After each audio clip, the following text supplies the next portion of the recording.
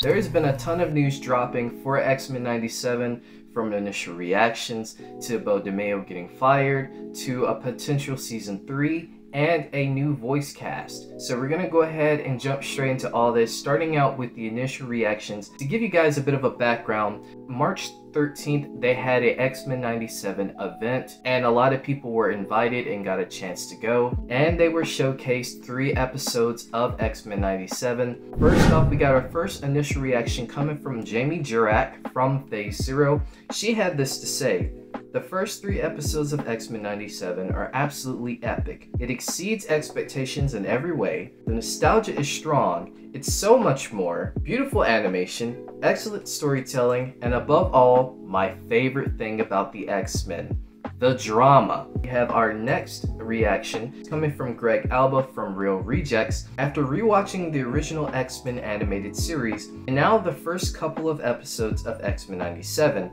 I can honestly say the series is fantastic. It's how you remember, preserving the characters and themes, yet evolved and with a more cinematic touch and beautiful action scenes. And finally, we have our last reaction from Dani Fernandez who says this The drama, the love triangles, the comedy, the animation. Congrats to the X Men 97 team and my TAG comrades. Y'all did that. Fire emojis.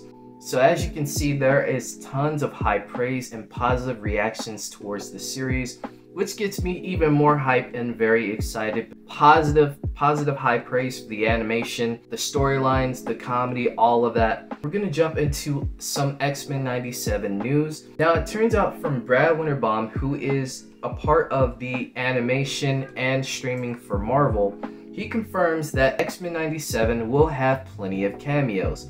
He says and I quote, I will say that, you know, just like the original series had some really fun cameos that you didn't expect to happen, you can expect the same thing in X-Men 97. Now, if you guys know, creator Beau DeMayo got fired the day before the X-Men 97 premiere.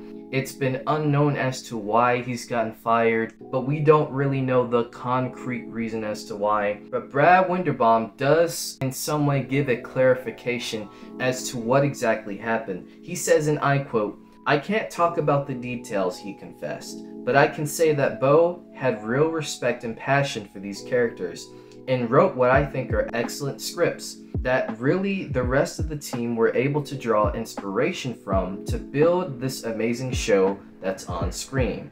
If asked if he would consider DeMayo's MCU departure a firing, Winderbaum replied with, I don't. We parted ways is the best way I could say. He's not really saying much to be honest with you about the firing so hopefully we get some more details as to why he got fired or why they parted ways. We also did get a voice acting confirmation. Your boy Professor Xavier is gonna be back in some capacity in X-Men 97. We got the confirmation that Ross Mar Marquand, who was in Avengers Endgame and What If, will be voicing Professor Xavier in X-Men 97.